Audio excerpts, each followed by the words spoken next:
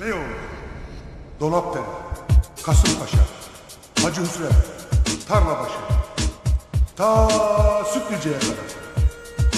Nerede hırsızlık, kapkaç yapılırsa, kime racon kesilir, kimden haraç alınırsa, ardındaki adam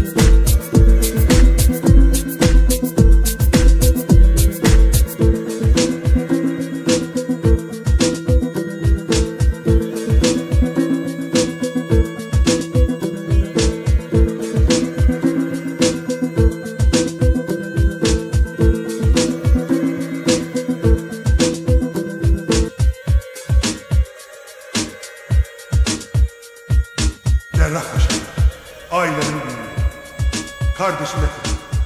Ben bunlar kadar birbirini seven iki kardeş görmedim. Vallahi siz de dahil.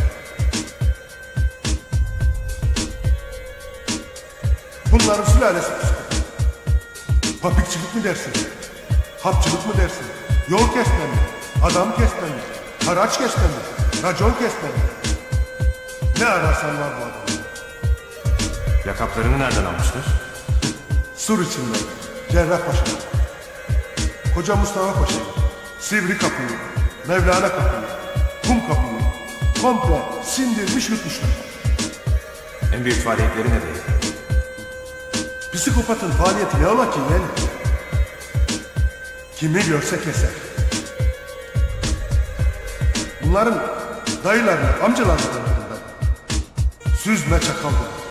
Ahlakları, üslupları, jargonları, raconları yoktur.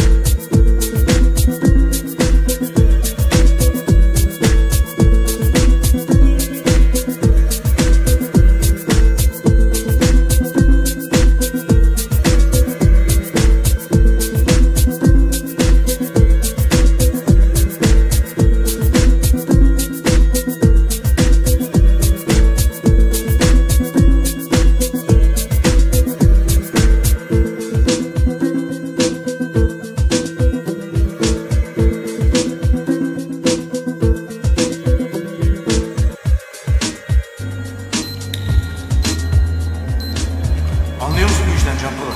Bir iki radyo tamir etmişliğim var. İyi, çok rahatladım.